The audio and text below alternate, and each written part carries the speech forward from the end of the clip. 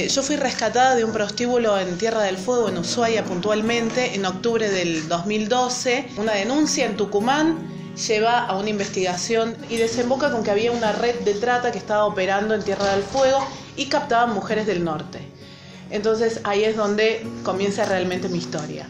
Yo no me reconocía como víctima, pero ¿por qué las víctimas no se reconocen como víctimas? Por el gran desconocimiento en materia de derechos humanos, de la ley de trata y de la estigmatización eh, social que hay.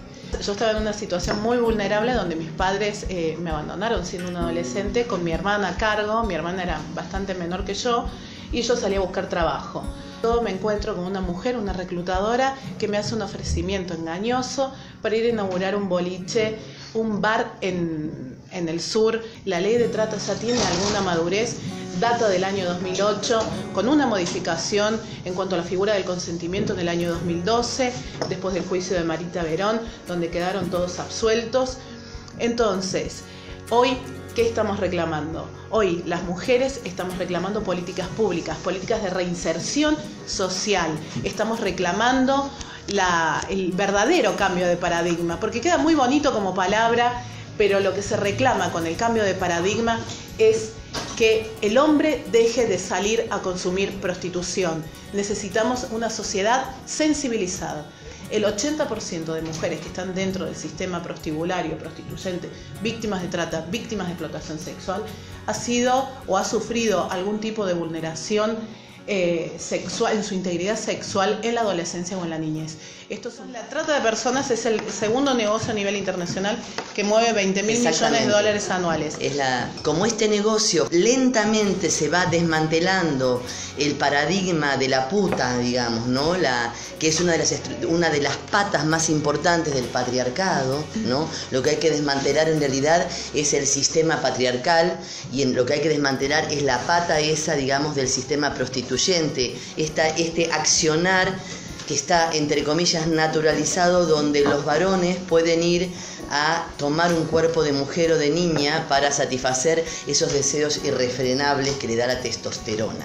Entonces, dicho esto, digamos, eso es lo que hay que ir desmantelando culturalmente. El reglamentarismo es una estructura que se ha instalado con mucha fuerza porque además hay muchísimo dinero puesto sobre eso, para que eso prenda, para que sea una opción, porque justamente ya las pibas no se tragan cualquiera como hace 30 años atrás o 20 años atrás. Ahora por suerte, las jóvenes van tomando conciencia de la violencia en la que vivimos las mujeres en este sistema. Vos fíjate cómo viene trabajando el capitalismo, cómo viene trabajando el patriarcado en nosotros, tanto en los hombres como en las mujeres, ¿no?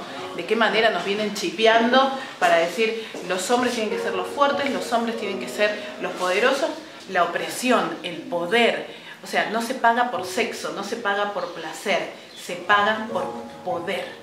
Tenemos asociado a la figura una serie de elementos. El auto de lujo, la mansión de lujo y la mujer de lujo. O sea, está incorporado como un elemento, ya nos, nos hacen la bajada de línea. Claro, que es un elemento a consumir. Sí, Es una cosa a consumir. Es una cosa. Pero es lo que nos venden los medios también. Es lo que nos vende Tinelli hace 15 años, 20 años. Son las publicidades de auto. Sí, bueno, pero no empezó él, empezó Porcel, empezó Olmedo, empezó Moria Kazan. Sí, Moria Kazan. Hablemos de todo eso también. Ese es el, el cambio cultural. Y esta gente sigue instalada, sigue erradicada ahí. Entonces hay que desenquistarla, hay que remover todas estas estructuras patriarcales, capitalistas, donde la mujer es la oprimida, donde la mujer es sometida a 15, 20 cirugías en, su recorrido profesional para convertirse en una gran vedette, donde son sometidas a dietas. Esto también es prostitución, esto también es trata, chicos.